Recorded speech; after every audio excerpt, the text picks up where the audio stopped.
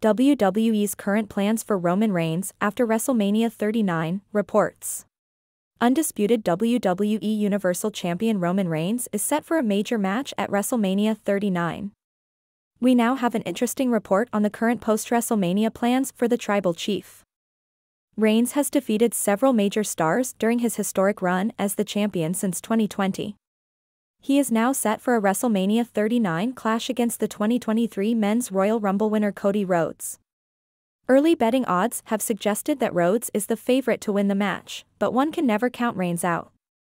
Xero News has now reported that WWE's current working plan is to have Roman Reigns main event the Saudi Arabia Premium Live event in May.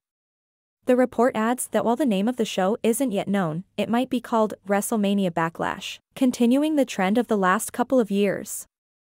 Source tells me that the working plan has Roman Reigns main eventing the Saudi Arabia show in May.